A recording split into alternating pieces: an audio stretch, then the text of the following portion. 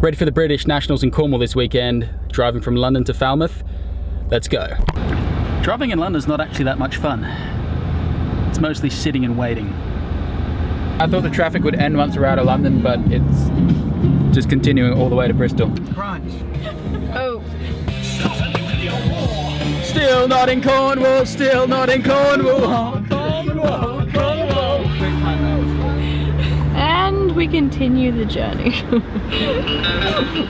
And finally, we got some open road. We made it to Cornwall. Finally. Right, morning of competition. Got my bananas. Let's roll. Oh, I can't see out the windscreen. can't see out the windscreen. Oh, look at that cracking Newquay morning.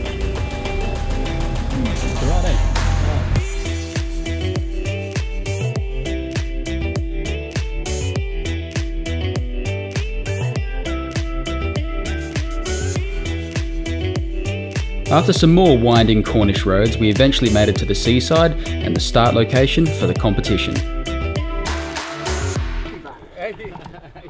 Right guys, area, that headland, Nare Head, with a little bit of leeway of about 100 metres in case you get caught down there in the tide, but don't take the piss. Official time.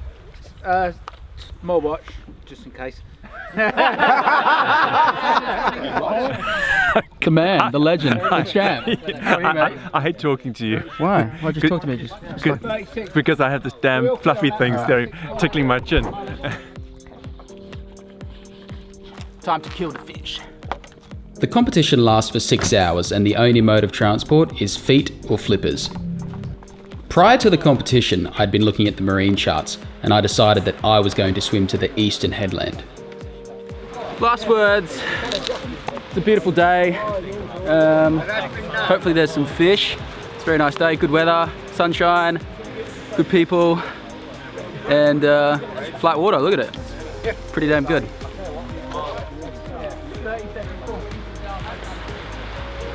And just like that, we were off.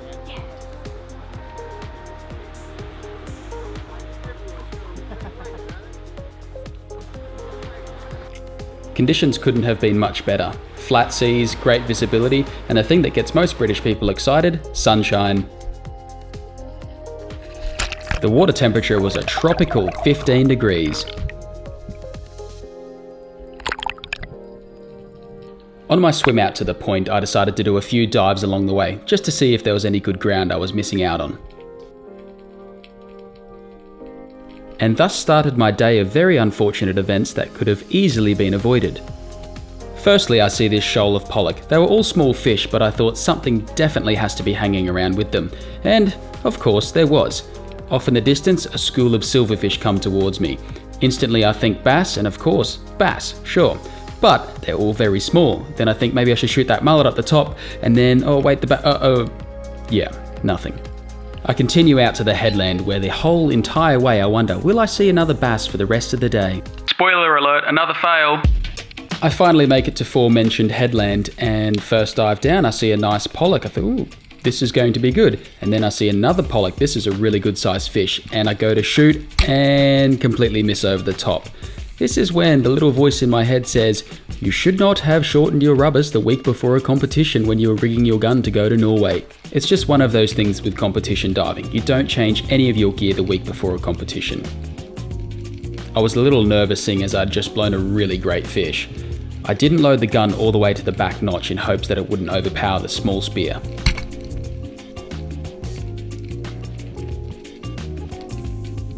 Finally, a fish on the board, only nine more pollock to go.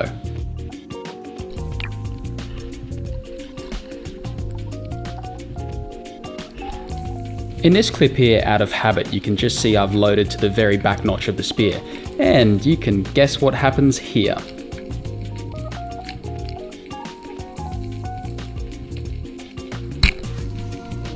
My confidence was super low right now, so back to the bottom to try and get another pollock.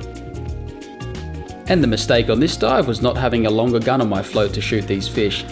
You could definitely shoot them with the 80cm gun, but it just would have been so much easier with my 110.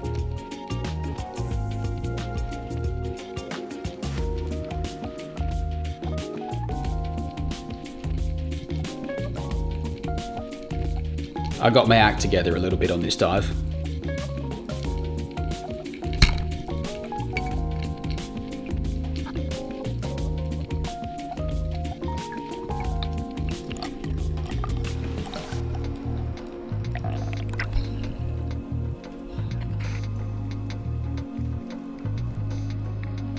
My confidence was a little bit further up now that I'd shot a couple. Oh no, missed again.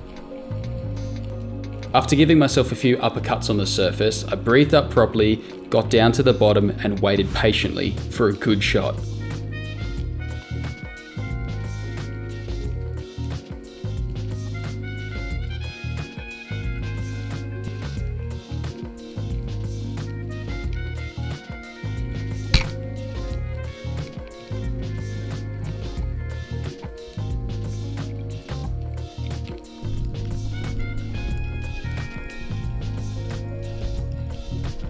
This three pollock and shot three pollock.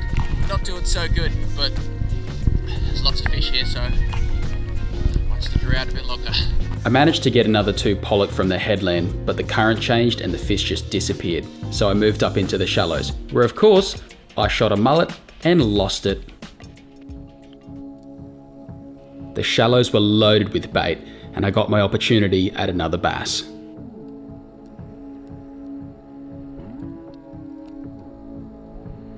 I followed this guy for around 10 minutes before I was presented with a shot.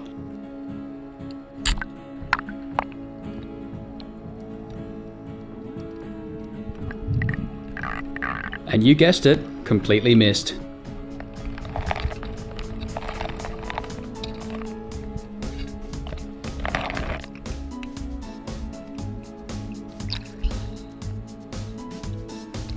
I was having an absolute shocker. I couldn't hit the side of a barn with a fistful of gravel, and this dogfish that was asleep on the bottom, I put a pad shot in and it tore off. Lucky for me, they don't swim very fast.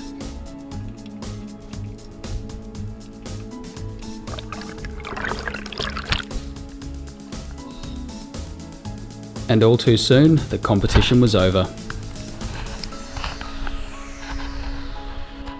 Overall disappointing, missed a lot of fish. Dan Bailey had done really well on the pollock. Yeah, it's alright. First time I shot a fish in a national, so good result for me. Look at that.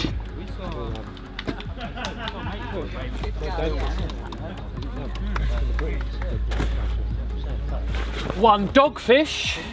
Ross captured what is quite possibly the first bonito to ever be speared in the UK. That's the foodie. What is it? Bonito.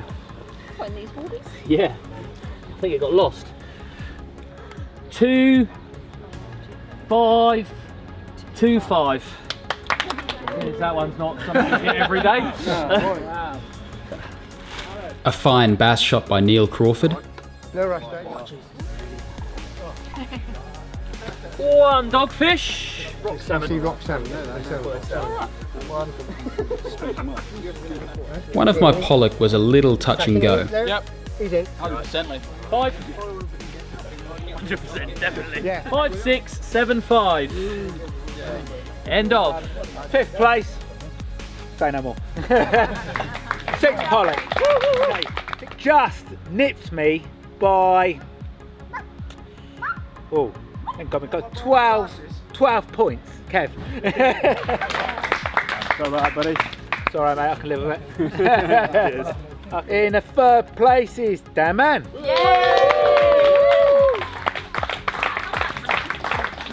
we go, Mary. Well done. Cheers. Good Yeah. in second place, but a very good percentage today because that puts him in. Yeah. Yes. Yeah, he is. well done, Ross. Thanks, buddy. So at least one person, Dan Bailey. Right, Dan. Yeah, Later, mate, later. Dan. That'll be after the first point now, Will. To be honest, I was a little disappointed with how I went in the end. I saw so many fish, but I just didn't capitalise on those opportunities on the day. But there's always next year.